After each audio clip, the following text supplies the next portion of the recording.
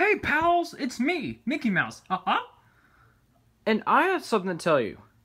You've probably heard that we're on a hiatus right now, but we'll be making a couple of episodes this year, But not like right now as much because we don't have very much people. Like, very much people as we don't have right now, but we're gonna make it different.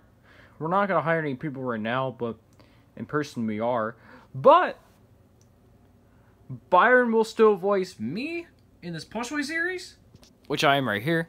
So And also, there'll be others. We also want a female person, you know, a female to voice Minnie, who is my girlfriend. So, we're still gonna be around, and we have a special, very special surprise character who will be joining us this year and for the rest of this series. So, be sure to stay tuned for that.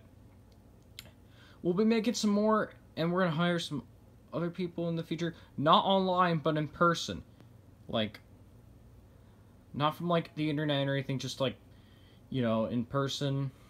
If Triple B 780 could get a chance, but that's gonna have to happen later.